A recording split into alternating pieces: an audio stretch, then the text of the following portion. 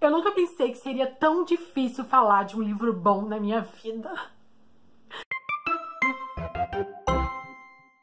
Olá todo mundo! Sejam bem-vindos a mais um vídeo do Kabuki e hoje é dia de falar pra vocês sobre um livro que me surpreendeu. Me deixou bugada, não fiquei muito bem na cabeça não. Ou foi tão incrível e renovador assim pra mim ler um livro desse que eu tinha que olhar as coisas de um jeito diferente depois disso. Quando eu comecei a ler esse livro, gente, eu não tava esperando muita coisa. Eu fico com as expectativas baixas e ultimamente eu tenho ido com as expectativas muito baixas nas minhas leituras e isso tem me feito muito bem. Só que dessa vez eu me surpreendi de uma forma que eu não consigo colocar em palavras. Primeiro que o livro prende muito rápido e quando você vê já foi pra página 300. E aí você acabou o livro porque ele tem só 380 páginas, que é os quase completos do Felipe Barbosa. Eu acho que vocês já conhecem esse livro porque eu falei dele no lançamento de abril ou maio, que foi uma das sinopses que mais me deixou chocada, porque quando a sinopse explica para você o que a proposta da história, você vai ficando um pouquinho assim, o que que tá acontecendo aqui? E conforme você vai lendo o livro, você descobre que a sinopse é apenas uma, uma frecha que ela abriu ali para mostrar para você que esse livro tem um universo muito sinistro. Primeiro que eu não consigo colocá-lo em gênero só. Os quase completos ele é um romance contemporâneo, mas ele vai sair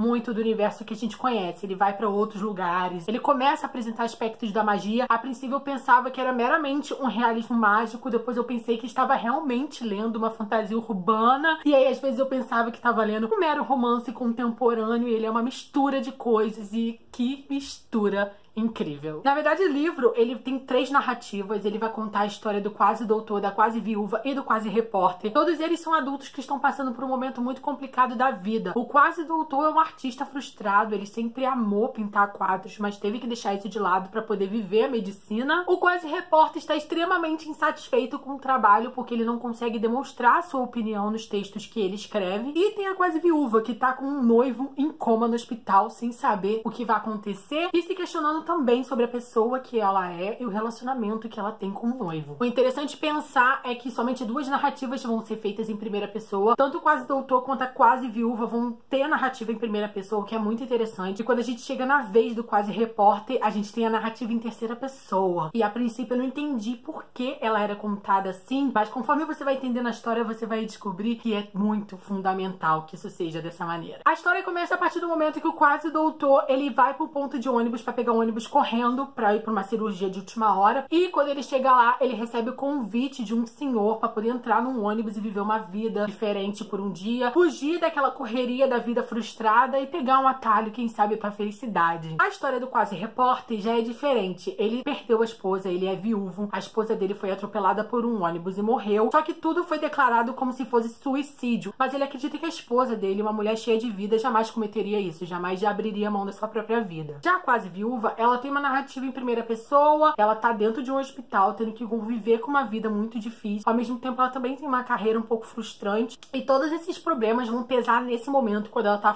e sozinha. Só que a incrível sinopse desse livro vai apresentar que essas três vozes, que esses três personagens estão conectados de alguma forma. Quando na verdade você não sabe, você não consegue enxergar essa conexão de forma alguma. A sinopse é muito clara. Ela diz para você que tudo isso é uma única história. Só que você não consegue juntar isso. São muitos quebra-cabeças. E na verdade, essa história é inteira um verdadeiro quebra-cabeça. E você vai receber peça por peça, muito aos pouquinhos. Até que de repente cai tudo na tua mão prepara o coração. Ele tem um romance, na verdade, os três, né, os três vivem romances, eles tiveram amores na sua vida, eles vivem essa fase, eles estão adultos, eles agora já vivem a sua vida, a sua carreira consolidada, todos eles já estão ali na casa dos 30 mais ou menos. Então você vê que eles sofreram com os amores do passado, eles estão sofrendo também pelo amor no presente, e todos eles vão ter que abrir a mente para poder finalmente entender quem eles realmente são, quem eles realmente querem ser e para onde eles querem ir. Então para mim esse livro na verdade verdade, ele é uma grande metáfora sobre todo ser humano. Eu acho que qualquer pessoa que vai ler os quase completos vai se identificar. Eu me identifiquei muito com Quase Doutor. Eu me identifiquei muito com o Quase Repórter, às vezes eu me identificava muito com a Quase Viúva. Todos eles têm aspectos na vida que traz um pouquinho pra gente também. A gente meio que acaba se lendo nesse livro. Ele, na verdade, vai questionar a nossa vida e ele vai questionar por que, que a gente é tão frustrado, por que a gente acaba abrindo mão dos nossos sonhos só pra, às vezes, simplesmente satisfazer os sonhos das outras pessoas. Embora esse livro tenha três narrativas, eu sinto que o Quase Doutor é o protagonista, é a estrela desse livro. Ele deu graça para essa história. O Quase Doutor é um grande exemplo de personagem, ele é um cara extremamente divertido. A gente vai acompanhar muito mais, inclusive, a história dele narrada em primeira pessoa. Ele nessa viagem nesse ônibus alaranjado que leva ele para um reino meio louco, paralelo, onde tudo é muito diferente do que ele conhece, do que ele sabe. E ali ele tem que abrir a mente dele e também reaprender a conhecer a si mesmo, porque o quase doutor, ele se perdeu muito no meio do caminho por ser um artista frustrado. É muito fácil hoje a gente se desviar do nosso sonho, do nosso objetivo.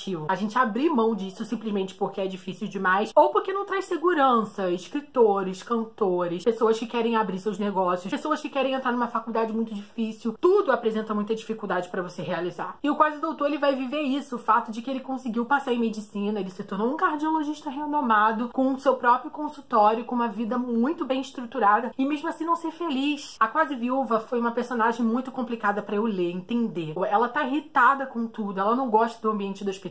Então, a princípio, ela se mostra uma pessoa extremamente estressada e fria. Mas é aí que eu consegui me identificar muito com ela, porque ela tem muitas frustrações na vida que todo mundo tem. E acaba lidando com isso da pior forma possível. O Vitor é o quase repórter e ele foi um protagonista, assim, que foi uma ponte na história. Ele conectou a história da viúva com a história do doutor e ele meio que deu uma visão completamente diferente. Eu acho que é no quase repórter que a gente consegue entender primeiro por que esse livro é realismo mágico. Como esse vídeo não tem spoiler e principalmente porque eu vou fazer questão de não dar spoilers para vocês, eu quero que quando vocês forem ler os quase completo, que vocês passem pela experiência que eu passei sem entender nada. Não posso deixar de citar o fato de que é um livro de 380 páginas, mas que eu li como se fossem 150, mas quando terminei é como se eu tivesse lido mais 600, porque é um livro muito rápido. A narrativa do Felipe, ela é muito sagaz, assim, principalmente porque a história, ela é muito objetiva. Todos os protagonistas, eles passam por muita coisa. E todas essas coisas, elas vão se complementando. O autor não precisa desenhar para você que X e Y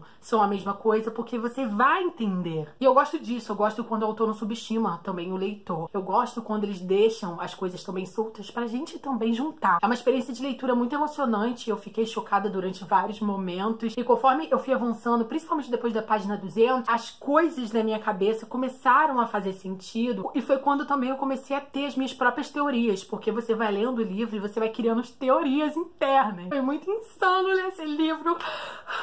Ah, eu li esse livro um dia, gente. O objetivo do livro, com três histórias extremamente diferentes, é um só. Mostrar que a gente precisa sim lutar para ir atrás dos nossos sonhos, que nunca é tarde demais e principalmente que você pode sim recomeçar a sua vida do zero, ok? Isso me deu um pouco de esperança né, gente? Me deu muita esperança, na verdade. Foi um livro que mexeu muito comigo e foi um livro que eu li muito rápido. Afinal, o autor não quis escrever uma história com início, meio e fim. Ele vai recuar no tempo e vai retornar o tempo todo para poder explicar para você coisas que vão fazer muito sentido. E é por isso que a história fica muito sagaz, porque ele não precisa gastar 10 páginas para te contar um fato. Ele faz isso numa memória de duas páginas e tá tudo certo. Foi um livro muito completão vocês me permitem aí a tirada. E obviamente que ele não poderia deixar de levar cinco estrelinhas e lindas e maravilhosas. Bem, amores, é isso. Espero que vocês tenham gostado da minha análise do livro mais surpreendente que eu já li. Além de ter essa capa linda e maravilhosa, não posso deixar de citar que o Felipe Barbosa ele é vencedor do Prêmio Poli de Literatura com esse livro aqui. E não posso deixar de falar que vai ter sessão de autógrafos sim do Felipe Barbosa na Bienal do Livro. Vai ser inclusive no mesmo dia que eu vou estar lá, que é no dia 4 de agosto. E ele vai estar autografando seus livros lá no stand da Arqueira a partir das às duas horas da tarde. Então não se esqueçam disso. Quero dar um abraço no Felipe também. Não se esqueçam que o link para comprar os quase completos da Amazon vai estar tá aqui embaixo para vocês adquirirem. E se vocês comprarem e ler esse livro, compartilhe comigo nas redes sociais a opinião de vocês. Quero sim comentar esse livro com outras pessoas, pelo amor de Deus. E não joguem spoiler nos comentários. Vamos ajudar aí o coleguinha que ainda não leu, tá bom? Bem, amores, é isso.